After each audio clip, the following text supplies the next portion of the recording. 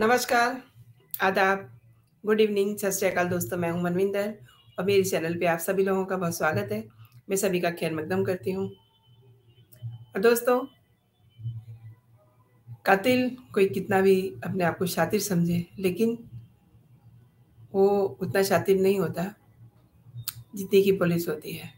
वो मौके पे कोई ना कोई सुराग ज़रूर छोड़ देता है। और कई बार ऐसा भी होता है दोस्तों कि सुराग जो होता है ना, वो कातिल के पास ही रखा मिलता है पुलिस को।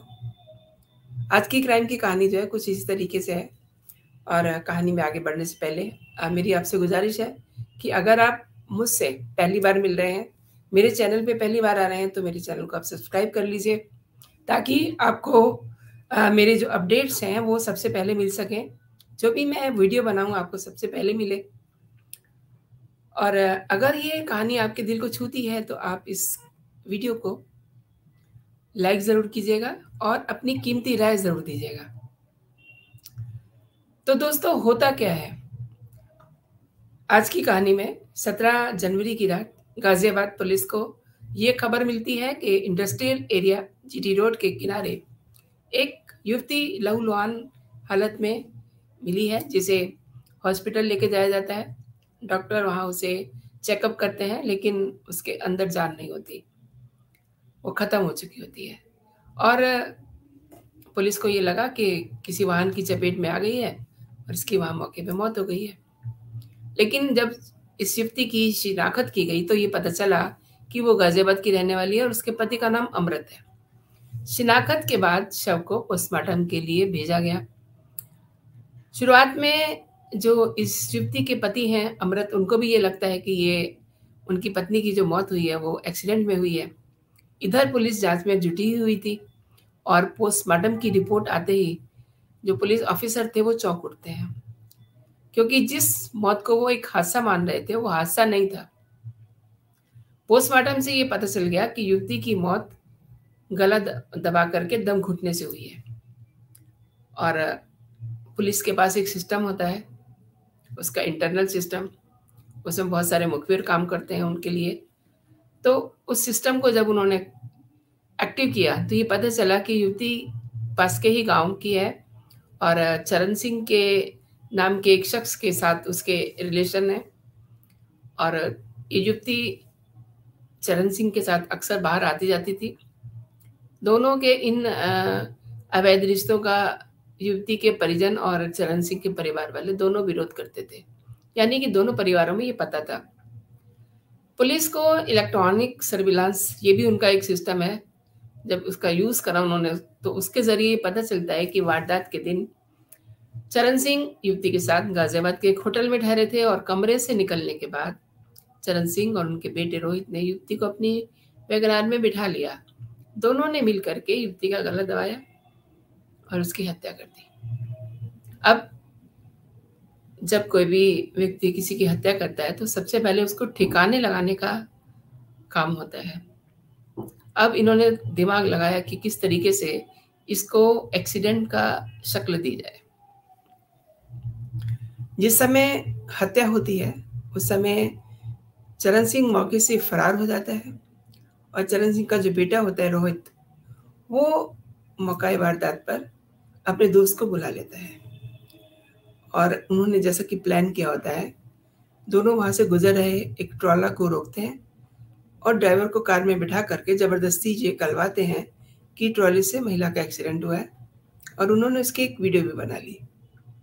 दोस्तों, आजकल हर क्राइम में ये सोशल मीडिया सोशल प्लेटफॉर्म और ये वीडियो ये बहुत चलन में आ रहे हैं। अब अगर वीडियो बनाई है तो उसको डराने के लिए उसको सोशल मीडिया पे डाल देंगे। यही कह करके वीडियो बनाई होगी, क्योंकि पुलिस उसको ताकि एक एक्सीडेंट माने। इस हत्या के केस में पुलिस ने महिला के प्रेमी चरण सिंह और उसके बेटे रोहित और रोहित के दोस्त संदीप को अरेस्ट किया और उनके कब्जे से जो भी चीज़ें इस हत्या में यूज़ की जैसे कि वैगनार कार और उसको भी उन्होंने अपने कब्जे में ले लिया। और जब इन लोगों से पूछताछ होती है, गिरफ़्तार जिन लोगों को किया, चरण सिंह के युवती के साथ पिछले सात आठ साल से रिलेशन थे, दोनों रिलेशनशिप में थे। और कुछ दिनों से युवती चरण सिंह से एक मकान की डिमांड कर रही थी, लगातार उस पर प्रेशर बना रही थी। लेकिन जब ये बात चरण के बेटे रोहित को पता चली तो उसने अपने बाप को बिल्कुल साफ़ साफ़ कह करके धमका दिया एक तरह से कि वो या तो इस युवती का इलाज करे या फिर वो किसी दिन चरण को भी छोड़ेगा नहीं। तो ये चरण के लिए एक अलार्मिंग नोट था। इसी के बाद बाप बेटे ने युवती की हत्या की साजिश रची और जैसा कि उन्होंने प्लानिंग की हुई थी, युवती को चरण ने फ़ोन करके गाजियाबाद होटल में बुलाया। सत्रह जनवरी, यानी कि ये पिछले हफ़्ते की बात है। सत्रह जनवरी 2023 दोपहर के समय इंडस्ट्रियल एरिया के होटल में जाते हैं, जहाँ चरण सिंह ने युवती को अपने कॉन्फिडेंस में लिया और बकायदा उसने उसका सेक्स भी किया। और उसका बेटा बाहर होटल के आसपास अपनी बैगनार में इधर उधर घूम रहा था। प्लानिंग कर रहा होगा कि कैसे आज क्या करना है। और जब थोड़ी सी शाम ढली, पौने आठ बजे का समय हुआ तो चरण अपनी प्रेमिका को लेकर के होटल से बाहर निकला। काफ़ी ठंड थी, उत्तर भारत में इस समय काफ़ी ठंड पड़ रही है और दिल्ली, गाजियाबाद, एनसीआर के जो इलाके हैं, काफ़ी कोहरा चल रहा है वहाँ, ठंड काफ़ी है। तो बाहर अंधेरा हो चुका था। दोनों ने युवती को कार में बिठा लिया। उसे ज़रा भी ये पता नहीं था कि उसके साथ अगले कुछ पलों में क्या होने वाला है? और दोनों ने मिल करके, बाप बेटे ने मिल करके युवती की हत्या कर दी और शव को धर्म कांटे के पास अंधेरे की जगह में फेंक दिया, जहाँ पर काफ़ी अंधेरा था। अब चरण जो मेन युवती का प्रेमी है, मौके से चला गया और रोहित ने अपने दोस्त संदीप को बुला लिया। रोहित ने, जब पुलिस ने थोड़ी कड़ाई से पूछताछ की तो उन्होंने रोहित ने पुलिस को ये बताया कि उसने रास्ते में जा रहे एक ट्रॉले को रोक लिया था कि तू एक्सीडेंट करके आया है और अपने साथी संदीप की मदद से उसे अपनी गाड़ी में बैठा करके डरा धमका करके ये कहते हुए उसकी वीडियो बना ली कि उसने ही एक्सीडेंट किया है और गाड़ी के मालिक को भी ये यकीन दिला दिया कि उसकी गाड़ी से एक्सीडेंट हुआ है। अब ये जो उन्होंने प्लॉट अपना बनाया ये छिप नहीं सका। मैंने शुरुआत में ही कहा था, और ये एक क्राइम की जो कहानियाँ होती हैं, उसमें एक बात कही जाती है कि लाख कोशिश कर ले क्रिमिनल कातिल, लेकिन वो अपना जो कत्ल होता है, वो छिपा नहीं पाता है। तो इस मामले में चूँकि उस युवती का गला दबा करके हत्या की गई थी तो जब पोस्टमार्टम की रिपोर्ट आई, उस समय ये बात साफ़ हो गई कि इसका एक्सीडेंट नहीं हुआ है, इससे पहले उसका गला दबाया गया है। क्योंकि पोस्टमार्टम में ये पता चल जाता है कि ये दम घुटने से इसकी मौत हुई है।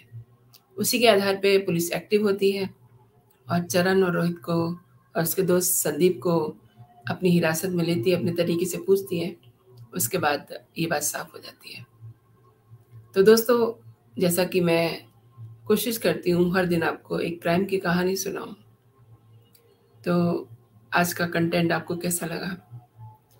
कुछ लोग आ, मेरे कमेंट बॉक्स में ये भी कहते हैं कि मैं क्राइम की बातें करती हूँ तो मेरा जो दिमाग है वो क्राइम की बातें कैसे सोच लेता है? तो मैं उन लोगों से ये कहना चाहती हूँ कि ये जो क्राइम की कहानियाँ मैं आपसे शेयर करती हूँ ना ये मेरे दिमाग की उपज नहीं होती है, ये सच्ची कहानी होती है। पुलिस की रिपोर्ट्स जब सामने आती हैं तो सारी सच्चाई कोई भी जान सकता है।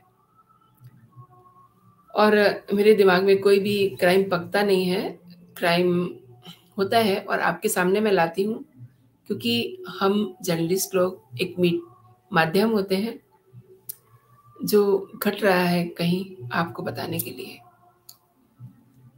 आप अपना और अपनों का ख्याल रखिए। एक बार फिर कहूँगी कि अपनों का ज़रूर ख्याल रखिए, क्योंकि वो आपके बहुत अपने हैं।